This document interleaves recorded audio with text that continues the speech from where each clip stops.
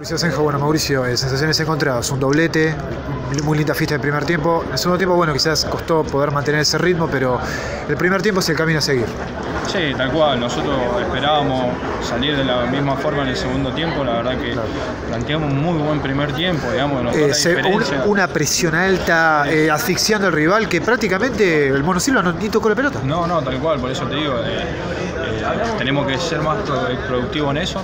estamos tenemos que seguir laburando, lo hicimos, lo hicimos en los partidos anteriores, no se nos dio.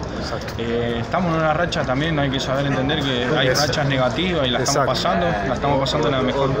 Le estamos poniendo el pecho a la vara, más que nada. Ahora tenemos que ir a Ferro a afrontar lo que viene, que va a ser un, rival duro en la cancha de ellos que necesita resultados.